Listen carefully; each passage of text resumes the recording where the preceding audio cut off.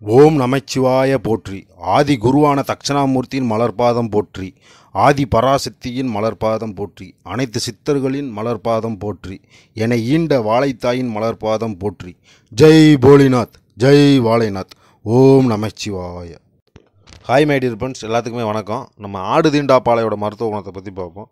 ஆடு தீண்டா பாலையும் ஐம்பது மிளகும் சேர்த்து அரைச்சு தினமும் காலையிலையும் சாயங்காலமும் மாலையும் இரு ரெண்டு வேளையுமே சாப்பிட்டு வந்தோம்னா கருப்பையில் உள்ள பெண்களுக்கு கருப்பையில் உள்ள பூச்சிகள் சாகும். செத்துச்சு குழந்தை பேர் உண்டாகும். அடுத்து ஆடு தீண்டா பாலையை வெந்நீரில் கலந்து குடித்தோம்னா அந்த விஷ முறிவு ஏற்படும். விஷ மருந்து எதுவும் விஷ முறிவு ஏற்படும்.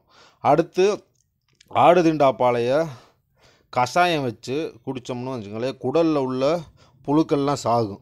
குடல் புழுக்கள்லாம் செத்து போயிடும். அடுத்து ஆடு திண்டா பாலையை விதையை பொடி செஞ்சு விட விதையை எடுத்து பொடி செஞ்சு விளக்கெண்ணெய் கலந்து சாப்பிட்டோம்னா மாதவிலக்கு கோளாறுகள் இதுவும் பெண்களுக்கு தான். மாதவிலக்கு கோளாறுகள் த சரியாக போகும். அடுத்து வந்து மலட்டுத்தன்மை நீங்கும்.